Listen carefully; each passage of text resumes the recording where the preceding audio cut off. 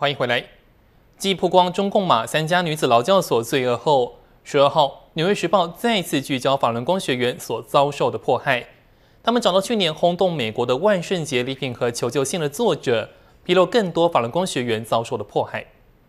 去年一封藏在万圣节饰品盒中的求救信，在穿越千山万水后，到达了美国俄勒冈居民朱丽叶·凯斯的手中，控诉马三家劳教所的残酷迫害。引发轰动。六月十二日，《纽约时报》采访了这封求救信的作者，一名四十七岁的法轮功男学员张先生。《纽约时报》报道说，最近几个月，中国爆发了对中共劳教制度的公开辩论和讨论，越来越多的劳教囚犯也公开讲述他们的故事。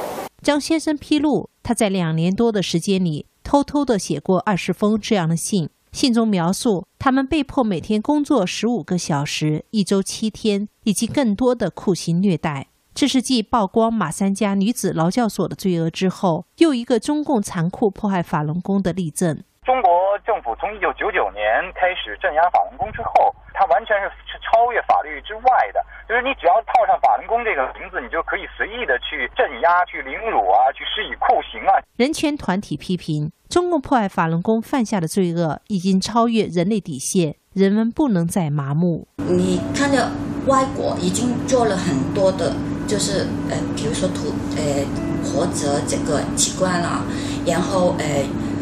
也就是监狱里面有多么恐怖的这个酷刑啊，这个好像已经越来越多的揭露。我们不希望这个事情还会还会存在下去。胡佳也呼吁，罪恶的中共劳教制度必须要彻底废除，对法轮功学员迫害必须要停止。新唐人记者梁真在香港报道。